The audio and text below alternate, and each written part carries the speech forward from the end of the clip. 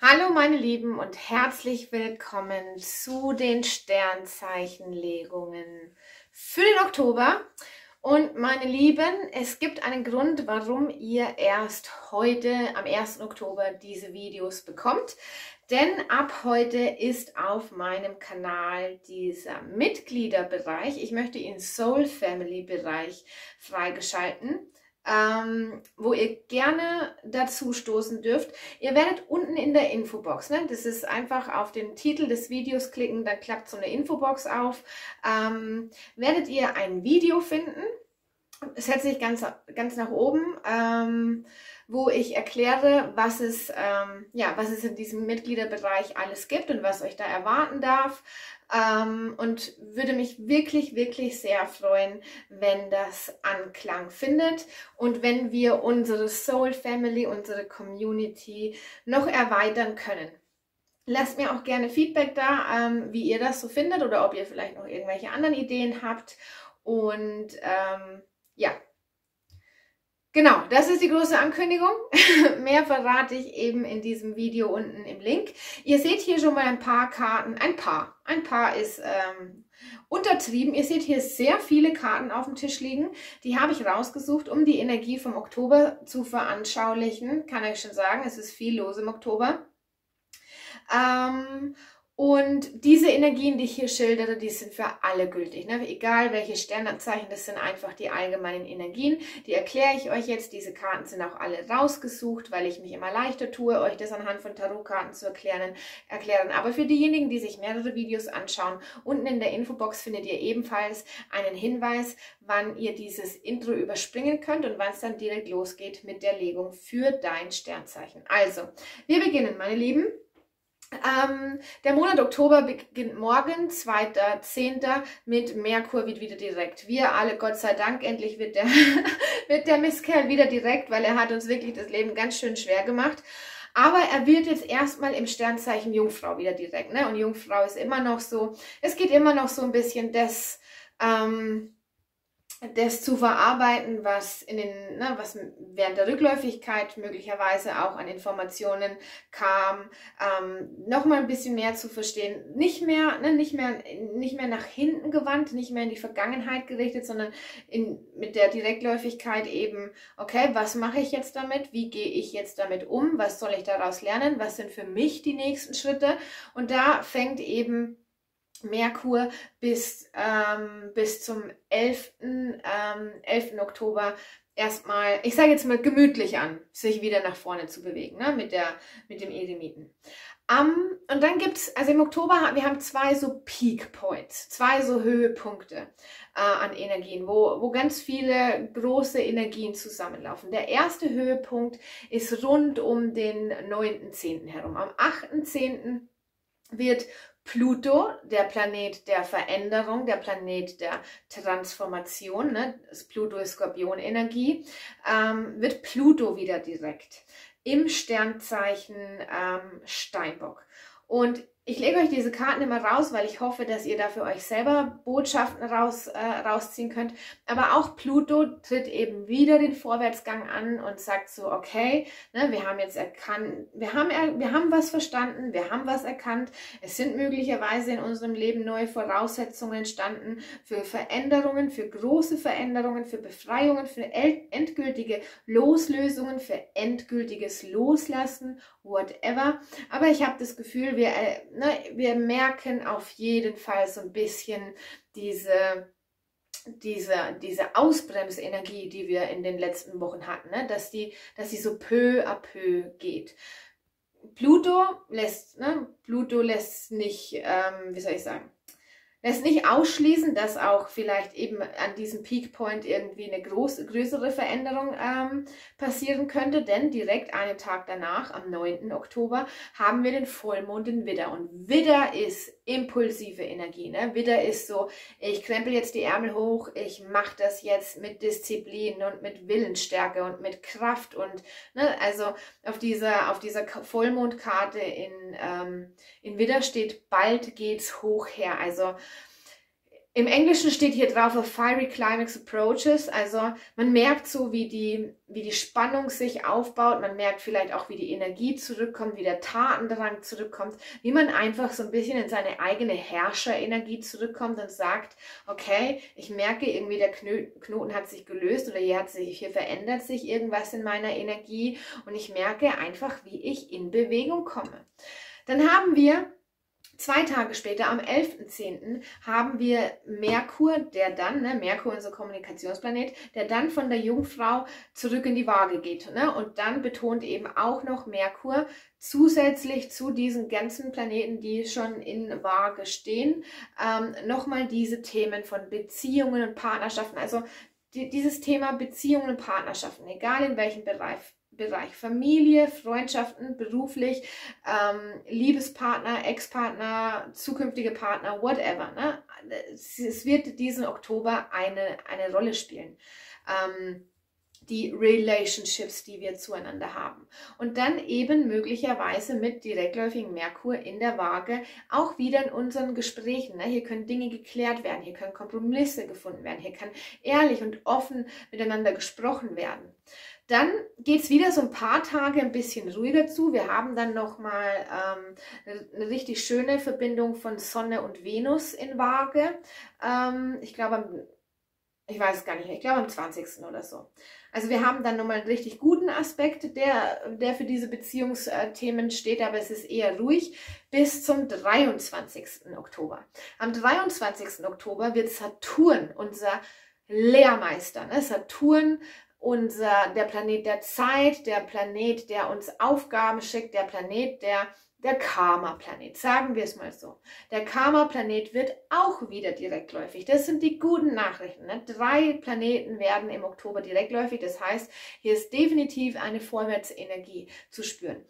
Ähm, Saturn wird direktläufig im Sternzeichen Wassermann, kann also Heilung bringen, kann ähm, Wendepunkte bringen, kann Öffnung bringen, kann Hoffnung bringen, kann Perspektiven bringen, Visionen bringen, whatever. Ne? Aber es geht alles wieder in so, einen, in, eine, in so eine schöne, schöne Vorwärtsrichtung. Vor allem eben mit Pluto und Saturn. Am gleichen Tag, 23.10 tritt Venus, der Planet der Liebe, vom Sternzeichen Waage ins Sternzeichen Skorpion ein. Ne? Skorpion, die Transformation, die Veränderung, vielleicht kommen hier dann Ende Oktober endgültig diese großen Veränderungen, denn am gleichen Tag, auch 23. Äh, Oktober, tritt auch die Sonne in Sternzeichen Skorpion ein. Also wir kommen von geballter Waage-Energie in geballter geballte Skorpionenergie. Ne? Das ist schon ungewöhnlich, dass, dass so viele Planeten im Moment ne, im, im gleichen Sternzeichen stehen. Und ähm, ja, große Veränderungen, meine Lieben, erwarten uns irgendwie Ende Oktober. Und in, am 25., also zwei Tage nach Saturn, Venus und Sonne, ähm, ist der Neumond im Skorpion, ne? Skorpion-Energie. Geh durch deine Ängste. Und ich habe das Gefühl, wir werden irgendwie im Oktober darauf vorbereitet, ähm, uns, ne, uns mutig, Widderenergie, uns unseren Ängsten zu stellen, in, irgendwie innerhalb von Beziehungen oder innerhalb von, ähm, ja, irgendwelchen Partnerschaften und ähm, wir haben eine Chance, diese Ängste eben auch zu transformi transformieren und zu überwinden, also ne, zu heilen. Hier liegt ganz stark eine Loslösungsenergie, in ein gewisses Gleichgewicht finden und sich für die Veränderung, die da kommen möchte, eben auch öffnen. Und ich glaube ehrlich gesagt schon, dass es eher größere Veränderungen sind, die uns da Ende Oktober erwarten. Und dann haben wir hier, ach nee, Quatsch, am 29.10., ich habe noch eine Sache vergessen mit dieser geballten Skorpionenergie. Ja, am 29.10., also auch wenige Tage später, tritt auch Merkur, ne? Geballte Waagepower trifft Ende Oktober auf geballte Skorpionpower, denn dann tritt auch Merkur auch in Sternzeichen Skorpion ein. Also das hat was zu bedeuten. Es hat was zu bedeuten, wenn so viele ähm, persönliche Planeten, ne? Venus, Sonne, Merkur, das sind alles persönliche Planeten, ähm, ins Sternzeichen, in ein Sternzeichen einziehen. Das ist einfach eine starke Energie. Und dann haben wir am 30.10. haben wir noch Mars, der dann rückläufig wird. Aber da er erst am 30.10. rückläufig wird, ähm, möchte ich jetzt da noch gar nicht so genau eingehen. Das werde ich dann eher so ne, in den Readings äh, tun, die, Ende, die ich Ende Oktober für euch mache. Weil er, der rückläufige Mars wird auf das hier erstmal keinen Einfluss nehmen. Ich habe das Gefühl, ähm, wir, wir dürfen große, große Dinge erwarten durch so viel, ähm, durch so viele Energien oder durch so viele Planetenkonstellationen, die sich verändern und eben auch durch diese ähm, Direktläufigkeit. Ne? Wir haben sechs Planeten in, ähm, in der Rückläufigkeit und im Oktober werden drei davon wieder direktläufig. Also das wird man schon merken. Sagen wir es mal so. Man wird schon merken, dass da irgendetwas ist, was uns in die Energie bringt von, ey, bald geht's hoch her. Genau, meine Lieben, so lasse ich das hier stehen und fange jetzt an mit den Sternzeichen. Vielen Dank und bis gleich. Happy Birthday, meine lieben Wagen und herzlich willkommen zu eurer Oktober-Geburtstagslegung. Ja, meine Lieben, herzlichen Glückwunsch zum Geburtstag, beziehungsweise herzlichen Glückwunsch zum Geburtstag nachträglich für die Wagen, die bereits Geburtstag hatten. Jetzt schauen wir mal, was der Oktober für euch bereithält meine lieben Wagen. Ähm, ich habe hier den Herrscher und den ähm, Tod draußen liegen lassen für die Vollmond-Widder-Energie und für die Neumond-Skorpion-Energie, weil ich wieder so eine Art Zeitstrahl abbilde. Und ne, das sind ja so ein bisschen diese zwei Höhepunkte, die wir da im Oktober haben. Und dann schauen wir mal, meine lieben ähm, Wagen was wir für eine Botschaft für euch haben. Jetzt muss ich gerade überlegen, ja, wir machen erstmal eine Monology Oracle Karte. Und zwar eine zum Vollmond, eine zum Neumond. Und dann schauen wir mal. Ich lege erst alle Karten aus und dann gehen wir da gemeinsam durch. Und du, meine liebe Waage, du spürst bitte in dich hinein ob das hier heute die Botschaft für dich ist oder nicht. Wenn du das Gefühl hast, nee, ich kann mich gar nicht damit identifizieren, ich befinde mich in einer ganz anderen Situation oder in einer ganz anderen Energie, dann mach das Video bitte einfach aus, denn dann ist die Botschaft für jemand anderen bestimmt. Und jetzt schauen wir. So. Überwinde deinen Stolz. Die Botschaft zum Vollmond in Widder. Ähm, Vollmond in Widder, ne? Widder ist ja euer gegenüberliegendes Sternzeichen. Ähm, ich habe das Gefühl, ne, Vollmond, Vollmondenergie, Feuer, Feuerenergie könnte, könnte tatsächlich irgendwie ein Höhepunkt sein. Ähm, möglicherweise aktiv zu werden, deinen Stolz zu überwinden ähm, und irgendeine, irgendeine Aktion zu machen. Ach ja, ich wollte erst alles auslegen. Meine lieben Wagen. So, eine Botschaft hier zum äh, Neumond in Skorpion für meine Wagen. Betrachte das Gesamtbild, der Vollmond im Schützen. Oh, und der Neumond im Löwen. Sehr starke Löwe-Energie hier. Selbstvertrauen der Schlüssel zum Erfolg. Und jetzt haben wir hier auch noch Schütze-Energie, sehr starke Feuerenergie. Interessant. Interessant. So, dann schauen wir mal ganz kurz eine Hauptenergie hier raus.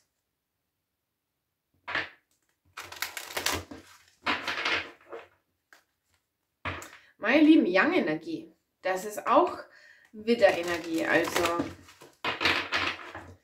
bin gespannt. So, eine Hauptenergie für meine Wagen für den Oktober. Oh, was okay. Da ist äh, wieder Skorpionenergie, Erneuerung. Drei Karten. Die höhere Macht, die Weggabelung. Weggabelung ist 13. 13 ist im äh, Tarot der Skorpion. Und flexibel. Okidoki.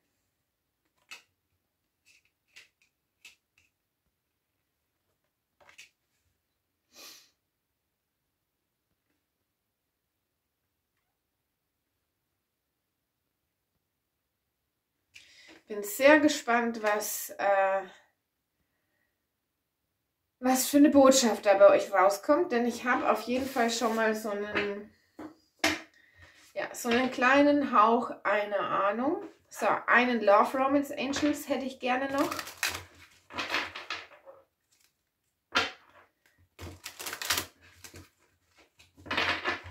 Ähm, eine, eine Botschaft hier noch für meine Wagen für den Oktober.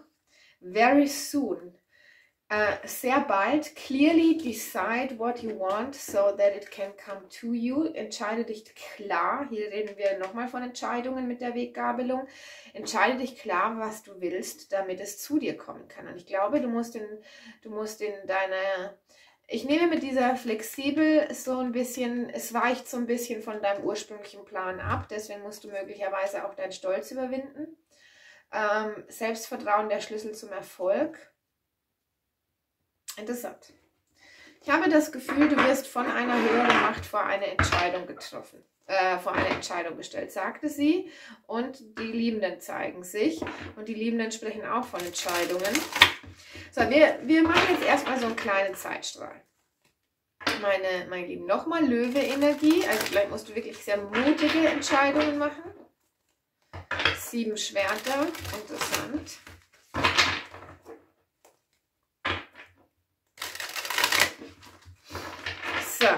deine Energie jetzt, wo du diese Legung einschaltest. Die Energie meiner Wagen. Deine Energie jetzt, wo du diese Legung einschaltest. Ast der Stäbe. Interessant. Sehr viel Feuerenergie habe ich hier bei euch. Ähm, gut. So, dann der erste Höhepunkt rund um den Vollmond. Pluto wird direkt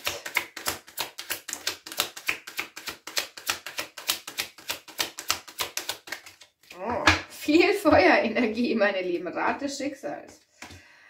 Der Stern. Wow. Und die vier Kelche.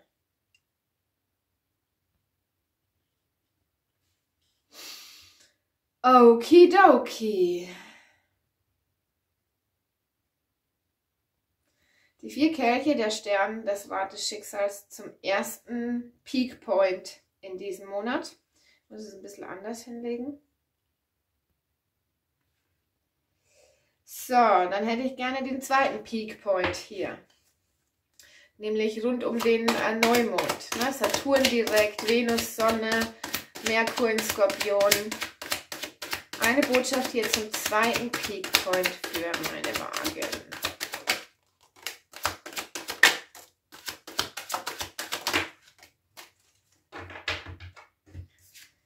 Der König der Münzen und die fünf Kelche. Wow, der König der Stäbe und die zehn Stäbe. Viel, viel, viel, viel Feuerenergie.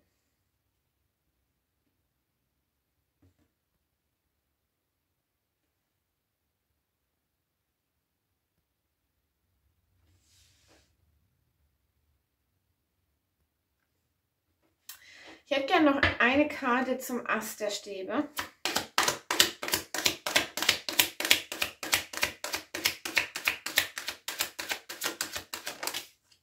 Wow.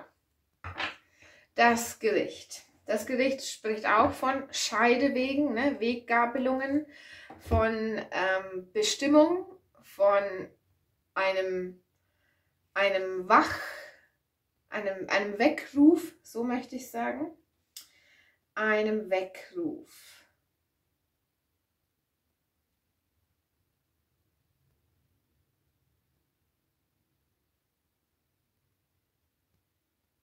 Eine Karte hätte ich gerne noch zur Rat des Schicksals.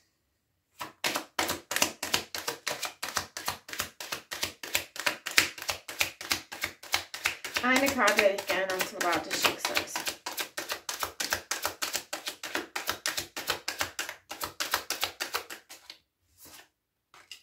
Der Page der Schwerter.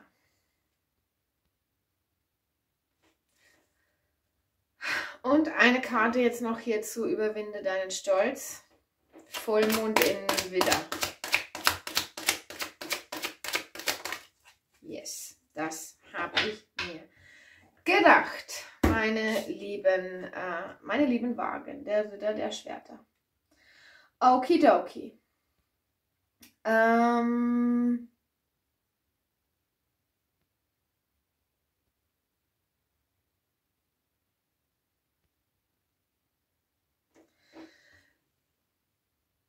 Gut, meine lieben Wagen. Das dürfte ein spannender Geburtstagsmonat werden. Große, ich, ich, sehe hier große Dinge, um ehrlich zu sein, mit dem Gericht, dem Stern und des Rat des Schicksals. Und zwar ehrlich gesagt habe ich das Gefühl, du wirst vor eine große, große Entscheidung gestellt. Es begegnet dir etwas Neues. Also, klar, ne, euer Monat mit der Widderenergie Beziehungsthemen betont, generell mit dieser geballten Waage-Energie äh, Beziehungsthemen betont. Ähm, müssen nicht Liebespartnerschaften sein, können Berufspartnerschaften sein, kann ne, alles Mögliche sein. Aber ich habe das Gefühl, mit dem Ast der Stäbe, ähm, ich weiß nicht, ob es dich schon erreicht hat, das Ast der Stäbe. Ob, ob diese, die, das Ast der Stäbe kann eine Idee sein, die in dir reift. Kann kann irgendein Ereignis, ein, keine Ahnung, ein, eine Situation sein, die irgendetwas bei dir auslöst, ne? was, was Positives. Kann eine Idee sein, kann irgendein Impuls sein, kann natürlich auf jeden Fall eine Person sein, die in dein Leben tritt, möglicherweise ein König der Stäbe. Irgendetwas passiert, was für dich so ein bisschen ein Wachruf ist, ein, ein, ne? ein, ein Weckruf, was für dich irgendwie so ich möchte es so beschreiben, so, wenn einem das einmal bewusst ist, dann kann man es nicht mehr, ne, dann, dann kann man es nicht mehr verdrängen, dann kann man es, dann, dann, dann, dann brennt man für diese Idee oder dann will man das haben oder dann, dann geht einem das einfach nicht mehr aus dem Kopf. Sowas nehme ich hier wahr. Ich habe das Gefühl, es kommt etwas zu dir, was irgendwie alles verändert. Was irgendwie, ne, als hätte man dir einen, einen Gedanken in, ins Hirn gepflanzt, der einfach nicht mehr weggeht. Wie gesagt, egal in welchem Bereich. Ich glaube, ich glaube tatsächlich mit dem Rat des Schicksals und dem Pagen der Schwerter, dass hier eher eine schicksalshafte Begegnung liegt. Es kann aber auch eine, also es kann definitiv auch eine Idee sein. Ne? Du hast eine Idee, wie du dich verwirklichen willst, wie du dir einen bestimmten Traum, einen bestimmten Wunsch erfüllen willst, wie du dich spirituell weiterentwickeln willst Möglicherweise kommen irgendwelche neuen Informationen, irgendwelche neuen Personen, irgendwelche Unterstützer, ne, irgendwelche neuen Chancen in dein Leben, die du vorher nicht gesehen hast. Ne? Hier vier Kelche, die dir vorher nicht so bewusst waren oder die einfach vorher nicht sichtbar waren in deinem Leben. Aber in dem Moment, wo sie sichtbar sind, ne, kann man nicht mehr wegschauen.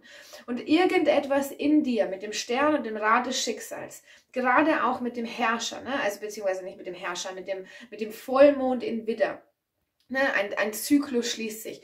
Möglicherweise in irgendeiner Beziehung, ne, in irgendeiner Partnerschaft. Ähm, und diese, überwinde deinen Stolz, der Ritter der Schwerter. Ich habe das Gefühl, es ist in irgendeiner Art und Weise mit Unruhe verbunden oder mit einem Kraftaufwand oder ich muss es, ich muss tatsächlich sagen, dass ich das, was ich hier hinten wahrnehme, dass ich das Gefühl habe, dass du möglicherweise eine Person zurücklassen musst. Ne? Hier liegt eher irgendwie diese Ablehnung, beziehungsweise möglicherweise gibt es auch einen, einen König der Münzen, den du enttäuscht oder ähm,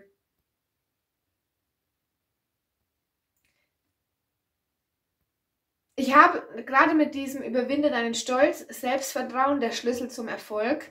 Du hast hier eine Idee, die aber nicht jedem gefällt ich meine, vielleicht ist es partnerschaftlich, ne? Vielleicht ist es Partner, also es ist partnerschaftlich, aber vielleicht ist es liebespartnerschaftlich, dass ähm, hier möglicherweise ein König der Stäbe, ich nehme eher den König der Stäbe, als das Neue war, ein, ein, ein König der Stäbe dein Leben betritt, der dir auch möglicherweise dabei hilft, einen König der Münzen loszulassen, wo viel Enttäuschung, viel Verletzung, keine Ahnung was stattgefunden hat. Was ich hier sehe, ist, dass du vor eine Entscheidung gestellt wirst ähm, welchen Weg du gehen soll, möchtest. Ne? Clearly decide what you want. Sehr bald. Also möglicherweise musst du, musst du ähm, dich im Oktober noch irgendwie ähm, entscheiden Und diese, diese Entscheidung fällt dir nicht ganz leicht, weil du möglicherweise auch ein bisschen Gegenwehr erwartest. Keine Ahnung. Oder ist, also der Ritter der Schwerter ist alles andere als deine Komfortzone. Ne? Wagen, Wagen haben gern Harmonie, Wagen haben gern ein Gleichgewicht.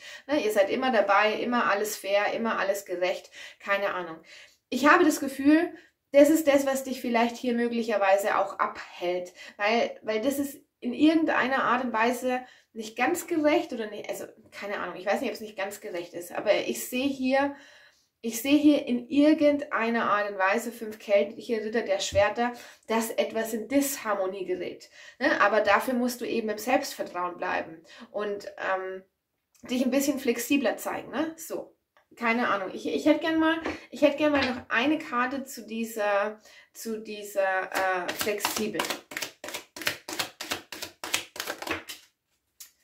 Die vier Stäbe an der Unterseite des Decks die Königin der Münzen. Also ich könnte mir schon vorstellen, dass, ähm, dass es das Thema Partnerschaften betrifft.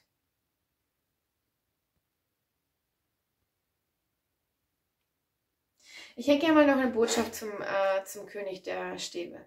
Vielleicht zeigt dir auch ein König der Stäbe auf. Na, es kann auch eine berufliche Situation sein. Wie gesagt, du weißt, du weißt, was, ne, wo du, wo du nicht mehr ganz so zufrieden bist oder ganz so happy oder ganz so glücklich. Du wirst wissen, in welchem Bereich. Ich glaube, dass hier jemand kommt und dir das Brett vom Kopf abnimmt. Ne? Das Brett vom Kopf, dass die Situation, in der du bist, ähm, eigentlich nicht mehr richtig befriedigend ist. Ne? Das Universum zeigt dir was Neues. Und ich habe das Gefühl, du musst mit dieser Flexibilität, du musst dir darüber Gedanken machen, ob der Ort, an dem du bist, ähm, der ist, wo du bleiben willst, ne? zu Hause ankommen, ähm, vier Stäbe. Oder ob es für dich vielleicht, also ich habe das Gefühl, dass hier liegt, es ist an der Zeit für dich, dich weiterzuentwickeln in einem Bereich. Und es ist in erster Linie mal mit Ritter der Schwerter, mit einem Kraftaufwand verbunden, mit nicht der einfachsten Energie, so ein bisschen außerhalb deiner Komfortzone. Aber Selbstvertrauen, ne, das brauchst du möglicherweise. Ich glaube, du musst hier etwas tun, was ähm, gut für dich ist, was sich richtig und gut für dich anfühlt, aber möglicherweise eben nicht gut für einen König der Münzen. Ne, kann ein ein Partner sein, der traurig ist, dich zu verlieren, kann ein Chef sein, der traurig ist, dich zu verlieren, kann ein Partner sein, äh, wo viele Enttäuschungen da waren und du aber irgendwie immer noch da dran gehangen hast und nicht vollständig losgelassen hast. Ich glaube, der König der Stäbe kommt, um, ähm, um dich zu entscheiden. Dich zu entscheiden, gehe ich einen neuen Weg oder bleibe ich im alten Weg kleben. Eine Karte hätte ich gerne noch zum König der Stäbe. Mit welcher Energie kommt der König der Stäbe in dein Leben? Mit welcher Energie kommt der König der Stäbe in dein Leben? Naja. Ah wow, meine Liebe.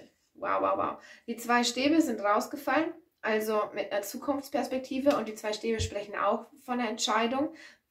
Der König der Stäbe wird dich in irgendeiner Art und Weise vor eine Entscheidung stellen, wie es für dich weitergeht. Ne? Und zwar, ich möchte es euch zeigen, der Magier, ne? neue Voraussetzungen, ist, da, ist das, was ich, äh, wo ich bin, das, was ich mir wünsche, aber auch das Ass der Kelche und die Karte, die ich rausspringen wollte, war der Gehängte. Ich habe das Gefühl, dass der König der Stäbe und der König der Münzen, ne? es sind es müssen nicht zwangsweise zwei Personen sein. Es können zwei Ideen sein, zwei Situationen, zwei ähm, unterschiedliche Energien.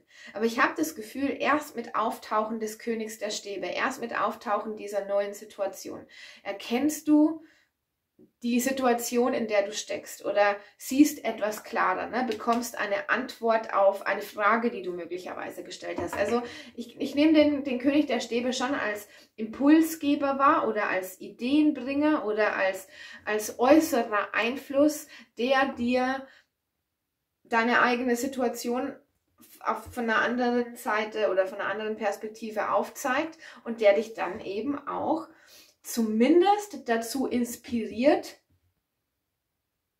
dir über deine Zukunft, Rat des Schicksals, nochmal eingehend Gedanken zu machen und vielleicht deine Zukunftspläne ein bisschen flexibler zu gestalten. Sagen wir es mal so. Gut, meine liebe, meine lieben Wagen. Ich glaube, dass hier tolle Dinge passieren. Ich glaube nur, dass die Umsetzung, die Verwirklichung dieser tollen Dinge irgendwie nicht die aller einfachsten sind. Aber ich lasse das jetzt hier mal so stehen. Unten in der Infobox findet ihr den Link zum weiterführenden Reading, wo ich auf all das hier nochmal genauer eingehen möchte. Ich möchte definitiv so ein bisschen wissen, in welcher Energie oder in welcher Situation du gerade bist. Ich will mehr zum König der Stäbe wissen. Ich will mehr zum König der Münzen wissen. Ich will auch wissen, warum der Ritter der Schwerter so ein bisschen das ist, was du überwinden musst. Ne? Möglicherweise auch für die falschen Ziele zu kämpfen. I don't know. Und dann schauen wir einfach, was da in diesem Extended Reading rauskommt. Ähm, außerdem, und das ist das, die große Neuerung, findet ihr, also ich möchte euch, euch liebe Wagen, ihr seid die Geburts Geburtstagskinder des Monats, ich möchte euch sagen, dass dieses Extended Reading auch in meinem ganz neuen Mitgliederbereich auf meinem Kanal verfügbar sind und die ähm, die kleine Mitgliedschaft, also die Soul Family Member Mitgliedschaft, ist günstiger als dieses Extended zu kaufen. Das heißt, wenn du möchtest, wenn du sowieso Interesse hast, dieses Zusatzvideo zu kaufen, dann ist es für dich auf jeden Fall eine Ersparnis, jetzt für einen Monat ähm, eben eine Mitgliedschaft zu, ähm, zu machen. Dann kannst du dieses Video sehen und du kannst zusätzlich die anderen Vorteile nutzen, die es noch gibt. Ich hoffe, ich habe das jetzt gut genug erklärt, denn ich will gar nicht so eine Verkaufsshow hier draus machen. Also, ihr könnt das Extended Reading kaufen, so wie ihr es immer kaufen konntet, oder ihr könnt einen Monat diese Mitgliederfunktion nutzen und schauen, ob es euch da gefällt und dann spart ihr auch noch 2 Euro. Genau. so, aber meine lieben, äh, meine lieben Wagen. Für diejenigen, die sich das Extended Reading nicht anschauen, ich glaube, dass hier große Dinge passieren. Wirklich. Ne? Das Gericht, das Universum hat seine äh, Finger im Spiel. Das ist ein Awakening, das ist ein Calling, ne? das ist so ein, ist auch eine Wiederauferstehungsenergie, ist irgendwie ein Scheideweg, ganz stark Scheideweg-Energie. Und ich glaube auch mit dem Stern und dem, äh, und dem Rat des Schicksals, dass zumindest deine Seele, also ich glaube, es ist mehr als deine Seele, ich, ich glaube schon, dass du dieses diese Chance erkennst. Ne? Ich glaube schon, dass du erkennst, ähm, dass es irgendwie viel mehr, entspricht viel mehr meinem Seelenplan, entspricht viel mehr dem, was ich mir wünsche. Ne? Das, es fühlt sich irgendwie gut an, es fühlt sich irgendwie nach Heilung an.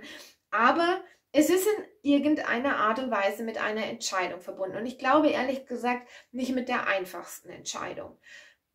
Ähm, definitiv um diese neue Chance zu ergreifen, ne, musst du etwas Altes loslassen oder muss irgendetwas hier enden. Auch das ist, ist am Ende des Tages natürlich eine, ähm, eine Energie von dieser Weggabelung, von dieser Entscheidung. Wenn du den Weg einschlägst, ne, dann hast du dich entschieden, den anderen Weg auf jeden Fall nicht weiterzugehen. Denn man kann nicht auf zwei Wegen gleichzeitig laufen. Und mit diesem sehr bald, ne? Very soon. Ähm, also diese Karte sagt mir, das passiert im Oktober. Und ich glaube auch, selbst wenn du in der Vier-Kelche-Energie warst, dass du das die ganze Zeit nicht sehen wolltest oder gesehen hast, ne, was das Universum dir eigentlich zeigen will, äh, wollte. Ich habe das Gefühl, es kommt, es zeigt sich nun sehr klar. Ne? Und dann, wenn sich sehr klar zeigt, bist du eben auch aufgerufen, eine Entscheidung zu treffen und nicht weiterhin in irgendeiner Situation zu verharren. Ähm, für diese Entscheidung brauchst du möglicherweise Selbstvertrauen, aber ne, das ist der Schlüssel zum Erfolg. Ich habe das Gefühl, es ist der Schlüssel hin zu deinem, zu deinen Wünschen oder ne, zu, zu, zu deiner Weiterentwicklung. Und was auch immer dafür auf der Strecke bleibt, was auch immer dafür losgelassen werden muss, was auch immer das hier ist, es möchte etwas besseren Platz machen. Und das ist, glaube ich, das, ja, ne, aus. Das ist, glaube ich, das, was, ähm, was du im Oktober sehen kannst. Ich glaube, dass du im Oktober sehen kannst, dass der Plan vom Universum weitaus größer ist, als, ähm, als du gedacht hast. Für dich. Für dein Leben, für diese Situation, für die Liebe, I don't know. Und so lasse ich das hier stehen. Vielen lieben Dank, meine Lieben, und vielleicht bis bald. Oder bis gleich. Tschüss.